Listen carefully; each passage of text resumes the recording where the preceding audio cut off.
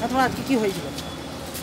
আজকে আঠাশে আগস্টের কর্মসূচি নেওয়ার জন্য আমি আমার জিএসকে রানিং জিএসকে এবং তার সহকর্মীদের পাঠিয়েছিলাম যে গলসি কলেজে একটা কর্মসূচি করতে, যে আমাদের জেলা নেতৃত্ব পারমিশন দিয়েছে একটা কর্মসূচি করার জন্য।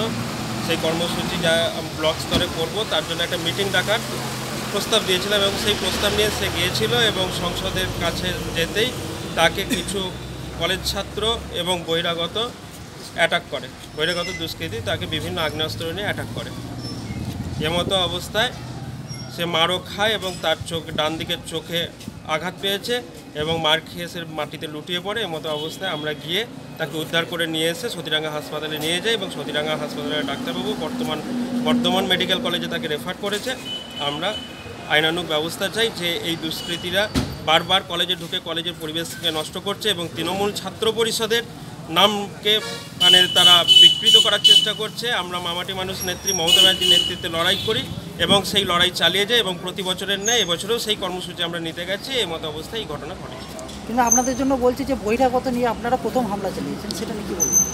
যারা বলছে তারা মিথ্যা কথা বলছে। আমরা প্রথমে ঢুকিনি কলেজে। কলেজে সিসিটিভি ফুটেজ আছে। আমরা পরবর্তী পর্যায়ে গেছি যখন তারা হামলা করছে। তখন আমরা গেছি সে মতো অবস্থায় দেখছি যে তাদের বহিরাগতরা আমাদের রানিং সিএসকে মারধর করছে। মারামারিটা হয়েছে কলেজের ভিতরে না বাইরে? মারামারিটা কলেজ চত্বরের মধ্যেই হয়েছে। নাম? অমৃতাভ সাঁই গলসি দু নম্বর ব্লক তৃণমূল ছাত্র পরিষদের সভাপতি।